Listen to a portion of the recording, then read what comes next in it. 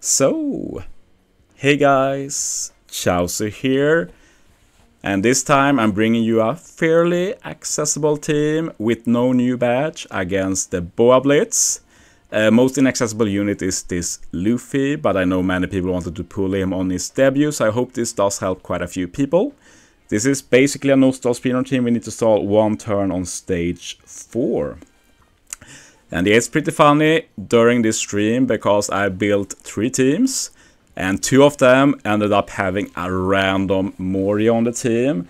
And both of them have that Moria as like the final unit I added. So it's pretty absurd.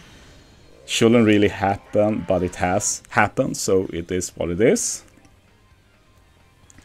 But yeah, should be fine to just auto battle until stage 3. On stage 3 we're doing the strat that basically everybody are doing, which is just use the Blackbeard friend captain. He handles every single variant, just use him and you kill, very easy.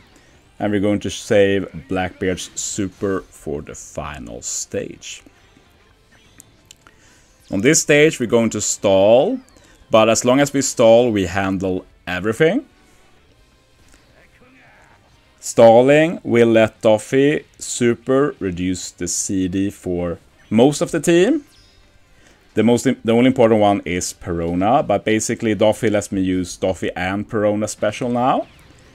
And Doffy gives us attack orb boost matching orbs. Then Perona will remove all of the bad effects, including the attack down and the burn and the bind and the call affinities. No, Perona easily one hit KO, so very fast. And yeah, now we're pretty much set for final stage. Uh, we're going to be using uh, this Alvaro Pizarro. He will give an orb boost, remove most of the bind. He's also a Blackbeard member for the friend Captain Blackbeard, so we can use this super. Jinbei for a bit of orb boost. We use Moria. He will do a small attack boost, but it's two turns, so we get to keep it. Luffy will buff the attack boost and give a chain boundary. Nami support to remove the bind. Blackbeard super to remove the def up. And then you just burst, ending with Blackbeard, but you probably won't even need to hit with Blackbeard. This is a lot of damage. So yeah, accessible team, very happy with it. Let's just double check what the boost is. Won't be the highest, but it's a workable team.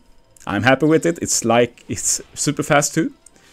2.8, very, very low, but this is a nightmare blitz for many, so I hope this team can help some at least. So, yeah, that's the end of this video.